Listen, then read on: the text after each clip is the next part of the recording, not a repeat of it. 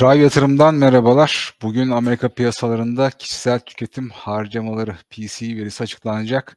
E, veri Fed'in de takip ettiği veri olması bakımından enflasyon göstergesi olması bakımından oldukça önemli enflasyonda yükseliş yaşanırsa yani PC rakamında değer artışı olduğunu görürsek dolarda kuvvetlenme yaşanabilir. Buna bağlı olarak da emtia cephesinde ve paritelerde euro dolar sterlin dolar gibi paritelerde aşağı yönlü hareketler görebiliriz. Dolar yende yukarı yönlü hareketler görebiliriz. Şimdi verinin özellikle detaylarına bakacak olursak geçtiğimiz ay aylık bazda 0.3'lük bir artış vardı.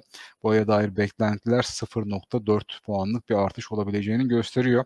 Eğer enflasyon rakamı geçtiğimiz ayların üzerinde bir yükseliş kaydederse bu da Amerika Merkez Bankası'na dair beklentileri biraz daha şahinleştirebilir ve faiz artış ihtimallerinin yükseltebilecek olması doları da kuvvetlenme yaratabilir. Diğer taraftan yıllık bazdaki rakamın beklentisine baktığımız zaman geçtiğimiz ay %4.4 seviyesinde gelmişti.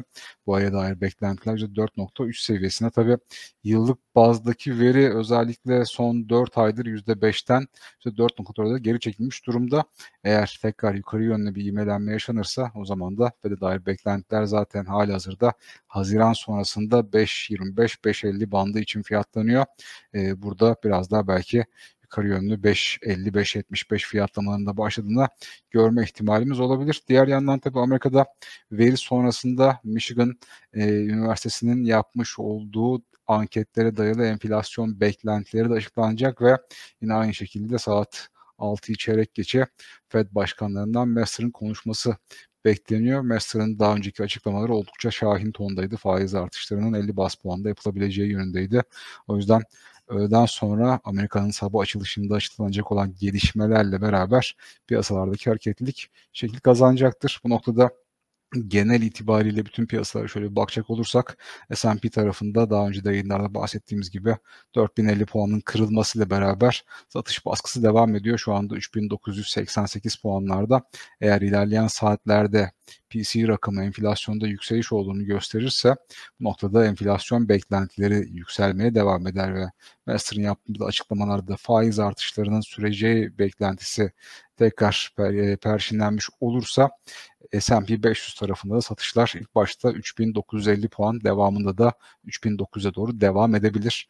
Nasdaq'a bakacak olursak orada da 12225 puan destek seviyesi diyorduk. Kırılma sonrasında 12000'e kadar geri çekilen endekste tekrar bir kırılan bölgeye geri dönüş hareketi olsa da 12.000 puana doğru hareketler satış baskılı bir şekilde devam ediyor.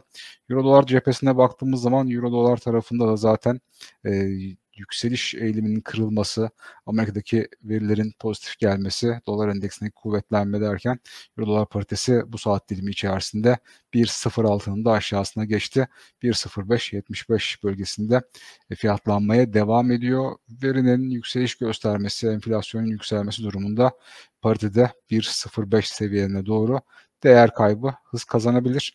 Ons altın tarafında ise 1818 dolar seviyesindeyiz an itibariyle.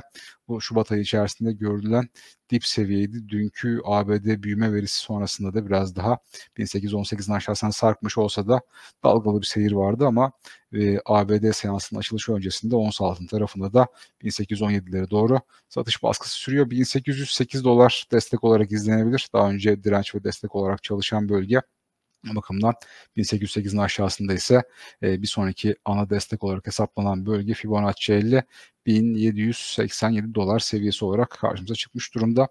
Gümüşte de benzer bir tablo var. Gümüşte de sabah saatlerinde 21 dolar 20 sent bölgesinin üzerinde fiyatlamalar vardı ama an itibariyle baktığımız zaman 21 dolar 4 sent seviyesinde bulunuyor ve Fibo 50 seviyesinde 21 dolar 10 sent seviyesinde bulunuyordu. Bu bölgenin aşağısına geçmeye başladı.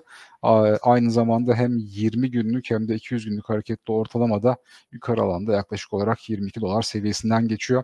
Bu bölgenin üzerine geçilmediği müddetçe gümüş tarafında da yukarı yönlü seyirden söz etmek biraz zor olacak. Eğer ABD verileri beklenenin aşağısında bir enflasyon olduğunu gösterirse yani enflasyon düşüş kaydederse o zaman dolar zayıflamasına bağlı olarak destek bölgesinden tepki alımları gelme ihtimalini de unutmamakta yarar var.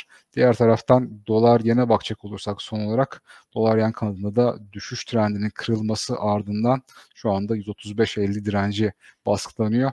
teknik anlamda düşüş trendi içerisinde yapılan Fibonacci hesaplamasında da e, yükseliş eğer 135.50'de üzerine geçerse bir sonraki dinlenme noktası 137.70-138 arasında olacak gibi gözüküyor. Burada hem Japonya'daki gevşek para politikası yeni zayıflatıyor. Diğer taraftan da Amerika'ya dair beklentiler e, dolar endeksine de şöyle bakacak olursak yükseliş trendi üzerinde devam ediyor ve dolar endeksinde de bu saat dilimi itibariyle Şubat ayı içerisindeki en yüksek seviyeye gelmiş durumda. Hatta Ocak ayından sonra 104.80'leri tekrar test etmemişti.